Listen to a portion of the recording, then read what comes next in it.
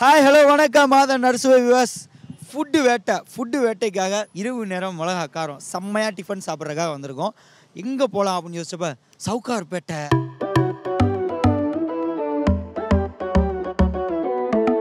சென்னையை பற்றி மேலோட்டமாக தெரிஞ்சவங்க என்ன சொல்லுவாங்க அப்படின்னா டீனவருக்குள்ளே போயிட்டு வந்தோன்னா அவ்வளோ கூட்டமாக இருப்பார் ரங்கநாதன் ஸ்ட்ரீட் அப்படியே ஒரு செப்பலே தொலைச்சிரும் அப்படின்னு சொல்லுவாங்க. ஆனால் சென்னையில் பற்றி ஃபுல்லாக தெரிஞ்சவங்களுக்கு மட்டும்தான் தெரியும். சவுகார்பேட்டை மாதிரி ஒரு ஹாட் அண்ட் ஹாப்பனிங்கான ஏரியாவே இருக்க முடியாது அப்படின்னு அவ்வளோ கூட்டம் இருக்கும். அப்படியே நம்மளால் தெரியாது எங்கிட்டு போகிறது அப்படின்னு. ஆனால் அந்த கூட்டமே கூட்டிகிட்டு போயிடும் இல்லையா?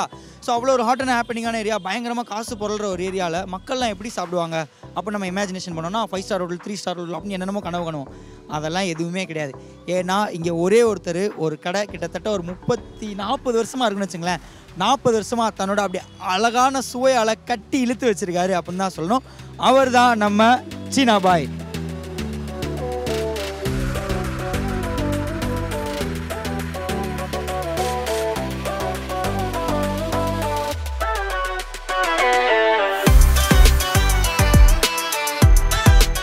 ஓகே இப்போ நம்ம கூட சீனா பாய் கடையோட ஒரு முக்கியமான நபர் இருக்காரு. ரொம்ப தேங்க்யூ ஃபஸ்ட்டு நீங்கள் அலோவ் பண்ணதுக்கு இந்த பிஸி டைமில் வந்து பேசுகிறதுக்கு ஏன்னா கடை அவ்வளோ பரபரப்பாக போயிட்டுருக்கு. இந்த சீனா பாய் கடை அப்படிங்கிறது யார் ஆரம்பித்தது இந்த சீனா பாய் கடைன்றது எங்கள் அப்பா ஆரம்பித்தார் ஆயிரத்தி தொள்ளாயிரத்தி எழுபத்தி ஏழில் இப்போ நீங்கள் நிற்கிற இடத்துல ஒரு வண்டியில் தான் முதல் முதல்ல ஆரம்பித்தோம் அப்போது அம்மா இட்லி போடுவாங்க அப்பா ஊத்தாப்ப போடுவார். அப்புறம் நாங்கள் ரொம்ப சின்ன பசங்க. இந்த மற்ற இதர வேலைகள்லாம் அங்கே செஞ்சுட்டு இருந்தோம்.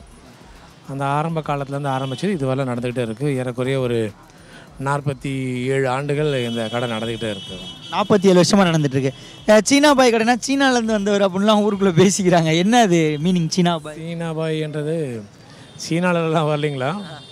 அப்பா பேர் ஸ்ரீனிவாசன் நாயுடு. இந்த வட மாநிலத்தில் எல்லாருமே வந்து பாய்ன்னா அண்ணன் கூப்பிடுவாங்க. அப்படி அண்ணா அண்ணான்னு கூப்பிடும்போது சீனா அண்ணா சீனா அண்ணான்னு கூப்பிட்டு காலப்போக்கில் அதுவே வந்து பேரை மாறிச்சு. நீங்கள் வந்து சின்ன வயசில் சாப்பிட்ருப்பீங்க சின்ன வயசுலேருந்து கடையை பார்த்துட்ருக்கீங்க உங்களுக்கு வந்து பரவாயில்ல நம்ம வீட்டில் இட்லி இப்படி வித்தியாசமாக ஊற்றுறாங்களே இந்த ஐடியா ஃபஸ்ட்டு யார் கொடுத்தது? இப்படி ஒரு இட்லி செய்யலாம். அந்த காலகட்டத்தில் இட்லினா கொஞ்சம் மீடியம் சைஸு எப்படியும் இட்லியை வந்து புட்டு தான் சாப்பிட்ணும். அந்த புட்டு சாப்பிட்ற சைஸை வந்து நம்ம புடாமல் கொடுத்தா ஒரு ஒரு இட்லி ஒன்று சாப்பிட்லான்ற ஒரு ஐடியா அது வந்து அப்பாவுக்கும் அம்மாவுக்கும் அந்த காலகட்டத்தில் எப்படி அந்த ஐடியா வந்தது தெரியல. ஸோ அப்போ இன்றைக்கி கிளிக் பண்ணாங்க. அது இதுவரெல்லாம் அப்படியே ஃபாலோ பண்ணிகிட்டு இருக்கிறோம். நல்ல ரெஸ்பான்ஸ் இருக்குது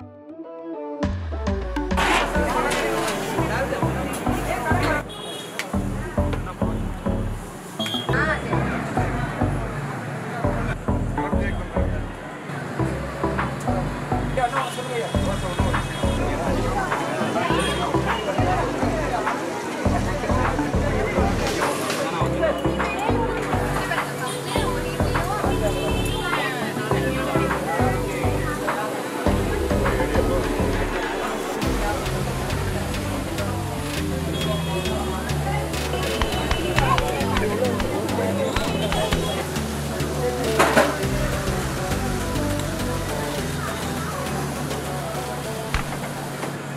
பேர் என்ன? என் பேர் ஜான். எத்தனை வருஷமா இந்த சீனா பாய் கடைக்கு வந்துட்டு இருக்கீங்க? நான் ஒரு ஏழு வருஷமா வந்து சாப்பிட்டுருக்கேன் டெய்லி காலைல காலைல சாயந்தரம் வந்து எல்லாத்தையும் வந்து சாப்பிட்டு தான் போயினுப்பேன் உங்க ஏரியா இதுதானா? நான் குரோம்பேட்டு. இங்கே ஒர்க் பண்ணது அங்க இருந்து இங்க சாப்பிட்றதுக்காக? இங்கே ஆஃபீஸ் எல்ஐசி முடிச்சுட்டு டெய்லி சாப்பிட்டு தான் போவேன். கல்யாணம் ஆனதுக்கு அப்புறம் அப்படி தானே பண்ணுவீங்க? அப்போ அப்போ இதான் பண்ணுவாரு. அந்த அளவு சீனாவோட டேஸ்ட் பாஸ்ல எடுத்துன்னு போவேன் வீட்டுக்கு.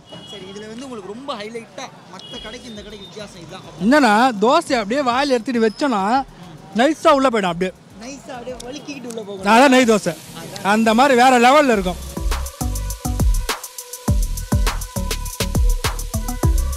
என்ன ப்ரோ ரசிச்சு ருசிச்சு சாப்பிட்டுட்டு இருக்கீங்க போல. ஆமாம் ப்ரோ உங்க செம்ம பேர் என்ன? சதீஷ் பிரபாகரன் ப்ரோ இங்க உங்களுக்கு பிடிச்ச டிஷ்னா எதை சொல்லுவீங்க? இது தோசை அப்புறம் நெய் இட்லி பொடி இட்லி. பொடி இட்லி. அது வெயிட் ஒர்க் ஆகும் பொதுவாகவே வெளியே கடை அப்படின்னா பேச்சுலர்ஸ் தான் நிறைய பேர் வந்து சாப்பிடுவாங்க. அப்படின்னு ஒரு ஐதீகம்லாம் இருக்குது அதுவும் அந்த ஃபேமிலி உமன்ஸ் அதாவது அம்மாக்கள்லாம் வந்து கடையில் வந்து சாப்பிட்றத பார்க்குறது அபூர்வம். அந்த மாதிரி இருக்கும்போது இந்த டேஸ்ட்னா கண்டிப்பாக யாராக இருந்தாலும் வருவாங்க அப்படிங்கிற மாதிரி ஒரு ஃபேமிலி நம்ம கூட இருக்காங்க. ஹாய் சார் எப்படி இருக்கீங்க? நல்லா இருக்கேன் சார் நீங்கள் வந்து எத்தனை வருஷமா இந்த கடைக்கு வரீங்க? நாங்கள் ஒரு பாஞ்சு வருஷமாக இங்கே வந்து சாப்பிட்றோம். பதினஞ்சு வருஷமா? ஆமாம் பாஞ்சு வருஷமாக சாப்பிட்றோம். ஸ்டார்டிங்கில் எப்படி இருந்துச்சு இப்போ எப்படி அதே டேஸ்ட்டு அதே இது தான் கொடுக்குறா சார் மாற்றமே கிடையாது. நீங்கள் இந்த மாதிரி வீட்டில் என்னைக்காவது நம்ம செய்யணும்னு ட்ரை பண்ணி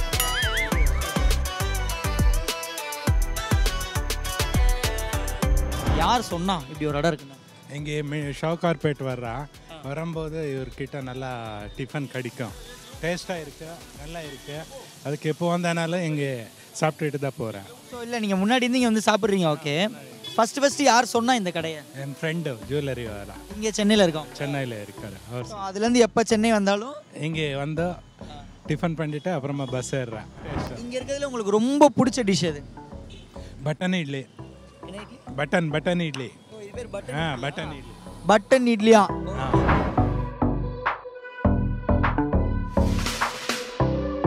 ஸோ பொதுவாக வயசானவங்களாம் வந்து இந்த காரத்தை கம்மி பண்ணிக்கணும் அப்படி இப்படிம்பாங்க பட் என்னதான் இருந்தாலும் நாக்கு அடக்க முடியாது இல்லையா அந்த மாதிரி நம்ம கூட ஒரு வயசானவர் இருக்காரு ஆனால் அவர் வந்து ரொம்ப அழகாக சாப்பிட்டுட்டு இருக்காரு நான் ஆல்ரெடி சொன்ன மாதிரி did you like this more हाँ बढ़िया है अच्छा है गुड टेस्ट है ஸ்பைசி नो स्पाइसी சி கரெக்டாக இருக்கான் ரொம்பலாம் காரமாக இல்லாமல் குழந்தைங்க கூட சாப்பிடலாம் பெரியவங்க சாப்பிடலாம் எல்லாருமே சாப்பிட்ற மாதிரி ஒரு மாடரேட்டான டேஸ்ட்டில் இருக்குது அப்படின்னு சொல்கிறாரு உங்களுக்கு ரொம்ப பிடிச்சது இது ரொம்ப பிடிச்சது இட்லி ஊத்தாப்பம் தாங்க பிடிச்சது ரொம்ப. ஆமாம் இட்லி ஊத்தாப்பத்தை விட இட்லி தாங்க ரொம்ப பிடிச்சது. ஒய்ஃப் கேட்க மாட்டாங்களா? என்ன வீட்டில் செய்கிறத விட நல்லா இருக்கா? அப்படின்னு கேட்பாங்களா? கேட்பாங்க. வீட்டில் செய்கிறத விட கடையில் நல்லா இருக்குமா? ஆ சூப்பராக இருக்கும். நெய் மிளகா அப்படி போடுறாங்களே ஆ சூப்பராக இருக்கும். அப்படி சொல்லுவேன் நான். இங்கே வந்து மெயினே வந்து நெய்யும் அந்த பொடியும் தான். ஆமாம் நெய்யும் பொடியும் தான்.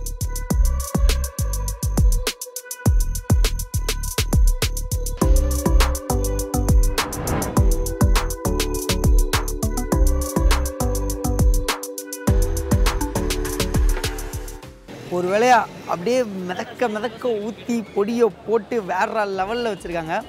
பார்த்த உடனே தெரிஞ்சிருக்கும். எப்படி இருக்குது இந்த இட்லி அப்படின்னு. ஸோ எனக்கும் செம்ம ஈகராக இருக்குது அதுவும் இல்லாமல் நிறைய பேர் சாப்பிட்றத பார்க்கும்போதே எப்படா நம்மளை சாப்பிட உட்காருவாங்க அப்படின்னு நினச்சிட்டு இருந்தேன். ஸோ இப்போ இந்த இட்லி கைக்கு வந்துருச்சு. அப்படியே லைவாக அவங்க அப்படி பொடி தூவும் போது பார்ப்போம்ல. அப்போலே நமக்கு ஒரு டெம்ட் வந்துடும் அதே மாதிரி எனக்கும் அந்த டெம்ட் வந்துருச்சு. இப்போ நான் ஃபஸ்ட் இட்லி எடுத்து வாயில் வைக்க போகிறேன் சைடில் இருக்க பொடியை தொட்டு சாப்பிட்றதுனால ருசியே.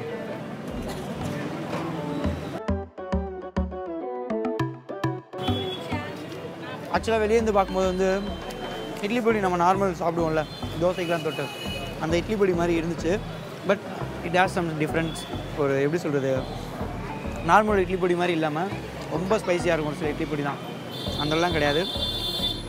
அது எல்லாமே சொன்ன மாதிரி குழந்தைங்க பெரியவங்க எல்லாமே சாப்பிட்லாம். அந்தளவு தான் ஸ்பைசி இருக்குது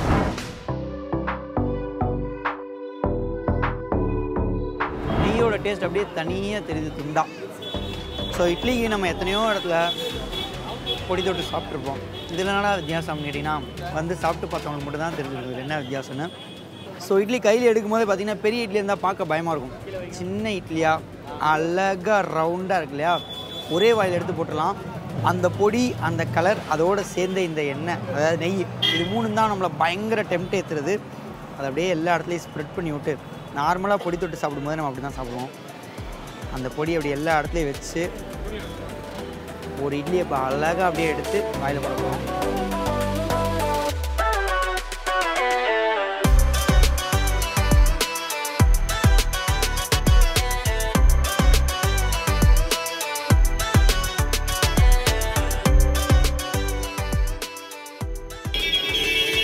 ஸோ ஹைலைட் என்னன்னு பார்த்தீங்கன்னா அதில் இருக்க பொடி தான் செம்ம டேஸ்ட்டாக இருக்குது அண்ட் அதே மாதிரி நிறைய இட்லி விற்கிறாங்க கண்டென்ட் வைஸும் சூப்பராக இருக்குது குவாலிட்டி குவான்டிட்டி பெஸ்ட்டு சாப்பிட்டு முடிச்ச அந்த பொடி எடுத்து அப்படி ஒரு வச்சோன்னா நமக்கு ஒரு கேர் வரும் பாருங்க. வேறு லெவல் கேர் சரி ஓகே அப்புறம் என்ன? சாப்பிட்டாச்சு. சட்டு புட்டுன்னு தோசையை சொல்லிடுவோம். நான் தோசை.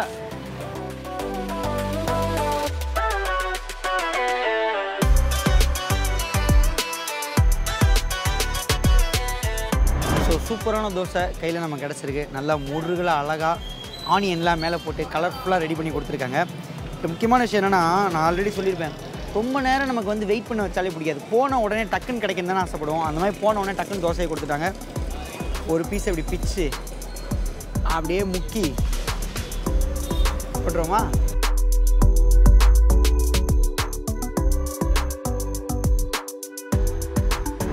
பொதுவாக தோசை சாப்பிட்றவங்க எல்லாமே ரொம்ப விரும்பி பார்க்குற விஷயம் என்னென்னா நல்லா முறு முறு முறு முருன்னு இருக்கணும் அப்படின்னு நினைப்பாங்க. இன்னொரு செட் ஆஃப் பீப்புள் வந்து ஊத்தாப்பமாக இருக்கணும் நினைப்பாங்க. அந்த ஊத்தாப்பமாக இருந்தாலும் அந்த ஓட்டத்தில் முறு முறுன்னு தான் எல்லாருக்கும் ரொம்ப பிடிக்கும். அதே மாதிரி தான் இதில். நல்லா அழகாக முருகலாக அதில் மேலே பொடியை போட்டு ஆனியனை போட்டு சூப்பராக ரெடி பண்ணி கொடுத்துருக்காங்க. இந்த ஆனியன் தோசைலாம் சாப்பிடும்போது என்ன அப்படின்னா ஆனியன் நல்லா அதில் வெந்துருந்துச்சு நல்லா ஃப்ரையாக இருந்துச்சு அப்படின்னு பார்த்தீங்கன்னு ஆனியனில் ஒரு முறுமுறு டேஸ்ட் இருக்கும்ல அதுவும் இதில் இருக்குது ஸோ பொடியோடு சேர்த்து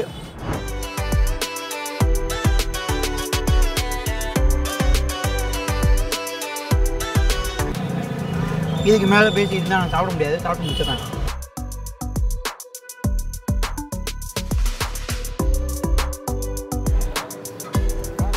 பா.